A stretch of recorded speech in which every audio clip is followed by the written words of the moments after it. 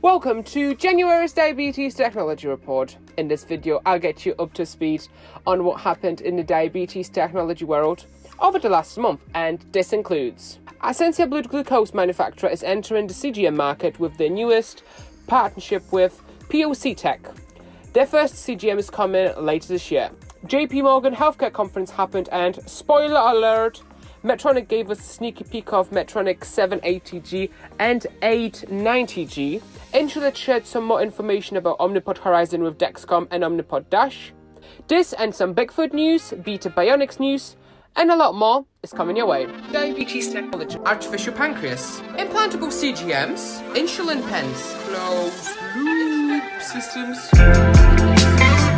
We are not Let's start with a new CGM. We need more competition in the market because it gives us more choice, and we are about to have a brand new competitor in the CGM space. On 7th of January 2019, quantum meter manufacturer Ascensia has entered into a partnership with Chinese CGM developer and manufacturer POC Tech. POC Tech current CGM called CT100 is available in selected markets and Ascensia will commercialize a version of CT100 in initial 13 specifically selected markets where POC Tech does not yet have a distributor. So let's talk about CT100. Sensors lasts for 7 days and they can be worn on both your abdomen and on your arm. Transmitter has an interchangeable battery which needs to be replaced every time sensor is changed. System is very accurate with MARD of 9.61% in some tests and 8.67 in another. System requires one daily calibration. Now, Ascensia will commercialize a version of CT100, so it'll be slightly different to the current version of CT100. I reached out to Ascensia for some details, and I was told that the research and development team is working with uh, POC Tech to see what they can do to improve any of the features in the short term. They do not anticipate to change the design of the initial product. Ascensia intends to distribute their version of CT100 in the second half of this year. It will be first available in those initial 13 markets. As always, as soon as they announced which markets they'll be launching first, I will give you an update on that. Now, they also signed another agreement to combine research and development efforts to create the next generation of CT100.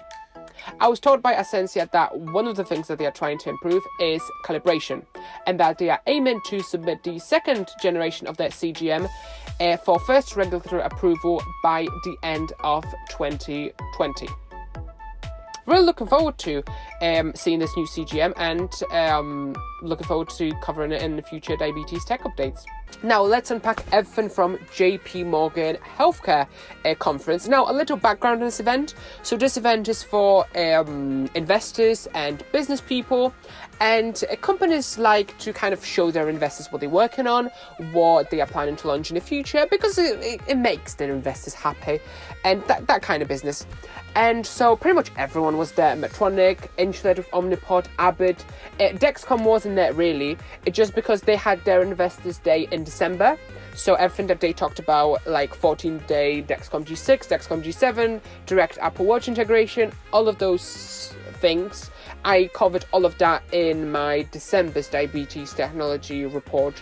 So check that here or in the video description. So, Medtronic, they are planning to launch those three things by the end of 2020. Advanced Hybrid Closed Loop System, which is a name for give me more insulin when I'm high, give me less insulin when I'm low system, with Bluetooth, called Medtronic 780G. System will connect over Bluetooth with your phone and allow sharing, so their version of Dexcom Share. System studies indicate time and range of 80%. Next up, iCGM designation. Now, I think this is very, very interesting. By the way, I don't think I've talked about iCGM and I algorithm and what that means, and I probably should make a video about it. I probably will make a video about it at some point using a human language. Um, I will. So basically, but basically iCGM means integrated CGM. So CGM that you can connect to so many different devices. So um, basically like your Bluetooth headphones, because the Bluetooth you can connect the same pair of headphones to so many different phones, to so many different devices. So it's kind of like that, but for a continuous glucose monitor. So currently the only CGM that has iCGM um, accreditation is Dexcom G6.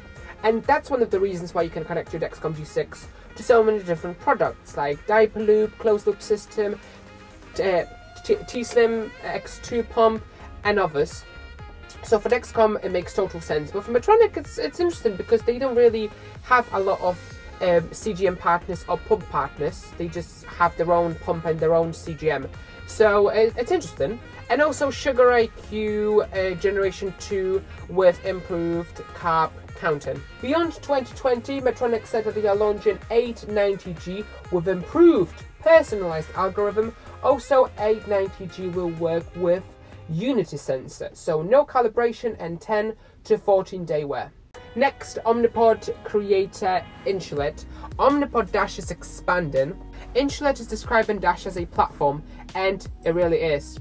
In the future, Dash product line will diverse to diabetes type 2 product and product with concentrated insulin.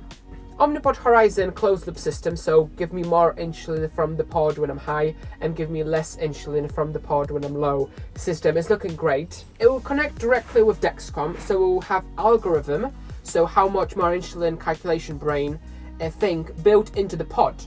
And it will be controlled by your own smartphone. But not PDM phone, your actual phone, like your actual personal phone. Ed Abbott, based on their slides, I can say that they delivered a short presentation to their investors and only said that they have a quote robust research and development pipeline. Okay, some Bigfoot news now. They announced that their systems will work with Lilly insulin products. This is a non-exclusive partnership. Next time, some Beta Bionic news. Their bionic pancreas development is going well, and they just closed Series B financing round, so basically we are getting closer to first Bionic Pancreas. One of the newest investors is actually Dexcom, and Dexcom is now also a strategic partner to Beta Bionics. Also, Senseonics is working on making their US implantable sensor last for 180 days. Currently, Eversense sensor in the US is implanted for 3 months and 6 months in Europe. Also, quick cool thing about this Accu-Chek meter.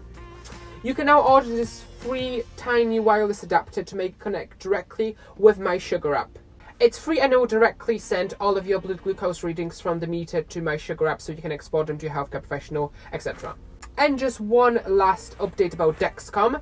Dexcom released a brand new transmitter for Dexcom G6. I reached out to Dexcom for some additional information and I was told that they released a limited quantity for the moment, and the new transmitter will coexist with the other one for some time before replacing it completely.